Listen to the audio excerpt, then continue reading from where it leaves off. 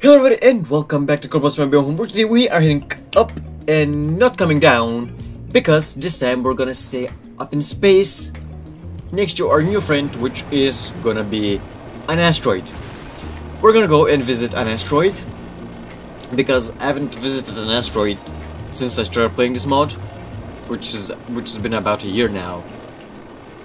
And yeah, I wish there were comets but I don't think there are comets yet in this mod since Beyond Home is based on KSP 1.10 and I'm playing 1.12.3 goddamn. So yeah. While we're launching don't make sure to subscribe and hit the bell so don't miss any new video launch which is happening every single Tuesday. So yeah we're going high up. Also you're gonna see that that satellite that I built is has a fucking telescope that can x-ray. I have separate x-rays Basically, I have shit ton of jam-packed science units because thanks to these uh, new part mods that I installed. Those parts gave me a lot of fucking science units. And right now, I don't even know what the fuck to do with them, so yeah. Booster separation it is. We had like, what, six boosters or something? That gravity turn is an absolute fucking bitch.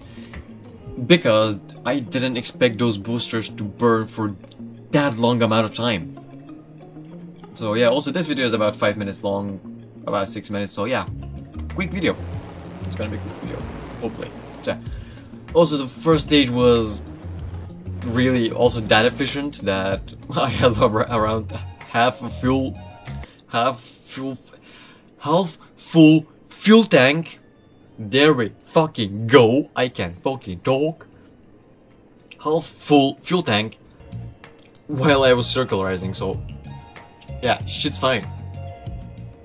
And I was like, yeah, why not? Let's do our injection burn towards that uh, asteroid that I was tracking for about, I don't know how fucking long, to be honest, because, I don't know. So,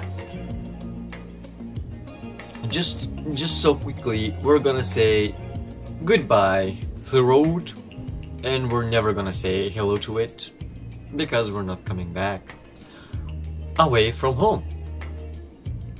So yeah.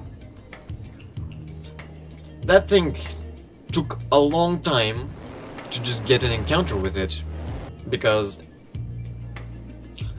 it's a fucking asteroid. A little speck of fucking rock in the entirety huge empty space. But yeah at the end I was like, okay, let's cut a few parts. And I finally, after about, how much, two years now of flight, I decided to just decouple those fairings because I really didn't need that much electricity at the first time. Now I'm setting the action group because I am a dumb fuck and I forget to do that in the VAB. So yeah, we have our encounter real fast because obviously, as I said, I cut to the part where I tried to maneuver closer and closer and closer and closer to that thing. It was a complete pain.